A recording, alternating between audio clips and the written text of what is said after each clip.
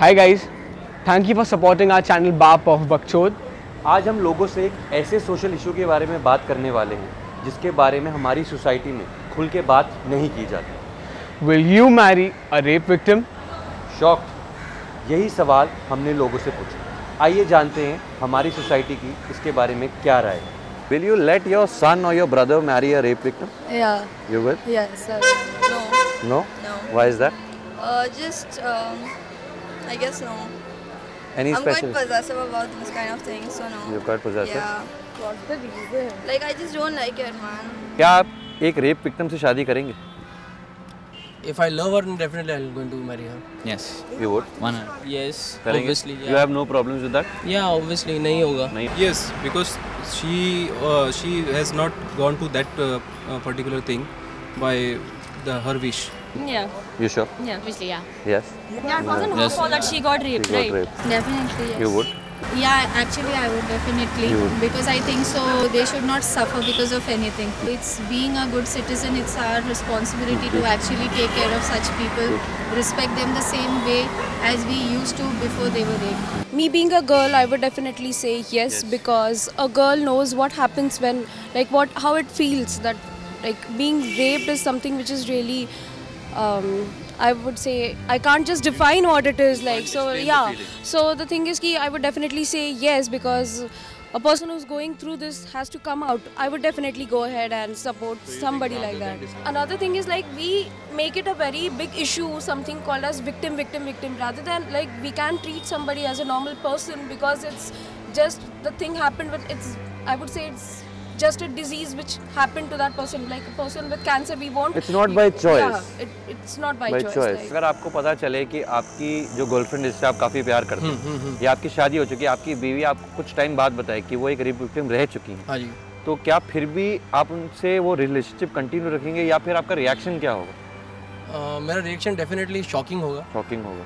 थोड़े टाइम तक वो एक ह्यूमन साइकोलॉजी होती है you will not be able to accept that but you will see no whatever happen it's you know it's wrong but I think it's very difficult to say and accept but मैं शायद जो बोल रहा हूँ वो शायद मैं करूँगा।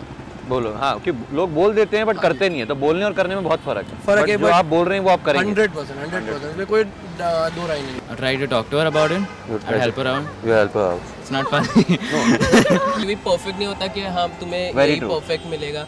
कि हाँ ऐसा ही मिलेगा। लेकिन हाँ चलेगा पास्ट में उसको लेके चलूँगा। आगे मेरे साथ कैसा उसके साथ रहना वही वो मैटर वो मैटर करता है। If society has the peer pressure you won't that won't influence your decision not me at least I am very strong that way I really don't care what people say I wouldn't care your your decision would stay the same it won't influence your decision I won't care about my society दुनिया का काम है बोलना मुझे क्या उससे ठीक है तो उनका अलग पर्सपेक्टिव है पर मेरे हिसाब से definitely I will support obviously पैसा तो थोड़ी ना देते कि मैं अपने खुद से चला रहा हूँ मैं किसको रखूँ किसको नहीं रखना तुमसे क्या मतलब है? I don't care about the society I still don't care about my society वो लोग जो सोचते सोचते देते say something like they i would make them understand and i think my parents would be proud proud if of your decision yeah if my uh, if i'm taking such a decision I think my parents will be okay with it. Like I know them, You so know I them. can say that. They wouldn't care. Think my parents का कुछ होगा क्योंकि like they are like open minded first of all मेरे parents है तो मेरे parents obviously accept करेंगे क्योंकि करेंगे। मेरे थिंकिंग जो है वो वो- उनका भी वही उनका थिंकिंग भी वही के हिसाब से आजकल if a person is charged and is found guilty of raping a woman years is the minimum punishment आपके हिसाब से इफ़ गिवन अ चॉइस आपके हिसाब से क्या पनिशमेंट होनी चाहिए एक आदमी की जो किसी का रेप करता है? एक लड़की होने के नाते मैं तो ये सोचती हूँ कि जो ये लॉ है ये लोग तो रेप विक्टिम को सज़ा देते हाँ। हैं। वो भले सात साल की हो सात साल बाद वो बाहर आता है। लेकिन उस औरत को तो फिर भी न्याय नहीं मिलता नहीं है मिलता। क्योंकि जो उसकी इज़्ज़त लूट चुकी है वो वापस तो नहीं मिलेगी।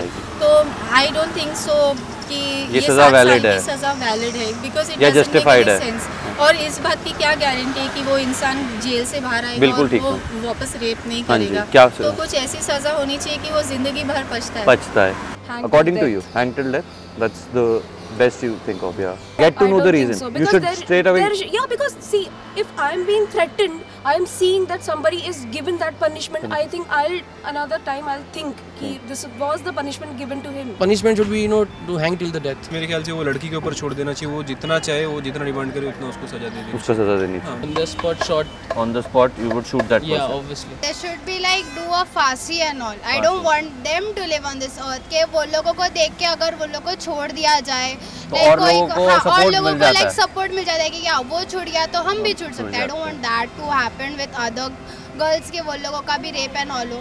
तो आई वांट देम कि वो लोग का रेप अगर कोई कर रहा है तो there should be like hang to the nine to death कि इतना लोगों के मन में खौफ बैठ जाए कभी कोई रेप कि कोई कर नहीं सके। Rape victims are also humans just like us and they deserve the same love and respect like you and me. So उनसे शर्मिंदा ना हो। बल्कि उन्हें प्यार और सपोर्ट दीजिए, क्योंकि आपका यही प्यार और सपोर्ट उन्हें इस मुश्किल परिस्थिति से बाहर निकाल सकता है। आपको ये वीडियो कैसा लगा, हमें प्लीज़ नीचे कमेंट करके बताइए।